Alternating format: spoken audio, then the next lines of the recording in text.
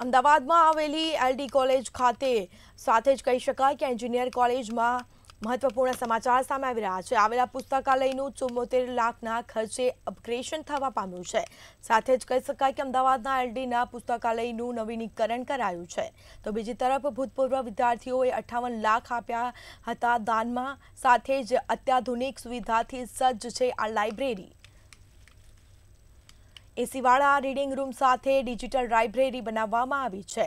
તો રૂપિયા અઠાવન લાખનું આઈએનઆર દાન આપવામાં આવ્યું છે. તો બીજા દાતાઓ દ્વારા પણ લાખો રૂપિયાનું દાન આપવામાં આવ્યું હતું. તો આ જૂની લાઇબ્રેરીની અત્યાધુનિક સુવિધાઓથી સજ્જ કરવામાં આવશે, જેમાં વિદ્યાર્થીઓ માટે એસીવાળા રૂમ સાથે સ્માર્ટ અને ડિજિટલ લાઇબ્રેરી ઊભી કરવામાં આવશે.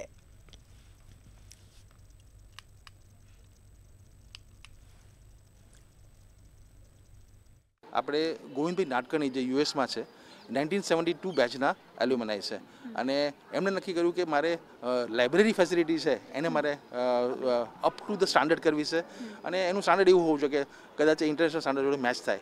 એટલે એમણે ફિફ્ટી એટ લાખ રૂપીસનું ડોનેશન કરીને એક અદ્યતન રીડિંગ રૂમ એમણે ડેવલપ કર્યો છે. અને એમની જ બેચના જે ઉમેશભાઈ લવિંગિયા છે.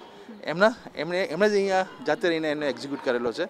એટલે એક લાઇબ્રેરી કે જેમાં વિદ્યાર્થીને આવીને વાંચન કરવાની ઈચ્છા થાય અને વાતાવરણ પણ એવું એમ્બિયન્સ એટલું સરસ ક્રિએટ કર્યું છે કે વિદ્યાર્થીઓને જોઈને પણ આનંદ આવશે. અમે લોકોએ પહેલાં તો એને રીડિંગ ફેસિલિટી કારણ કે નીચે જોયું હતું કે છોકરાઓ માટે રીડિંગ ફેસિલિટી બહુ સારી નહોતી, તે એકદમ એને અપગ્રેડ કરી અને વર્લ્ડ ક્લાસનું કર્યું. જેમાં ગોવિંદભાઈ અમને ઓલમોસ્ટ ચુમ્મોતેર લાખ રૂપિયા આપ્યા. બીજા અમારા બે એલમનીએ પૈસા આપ્યા.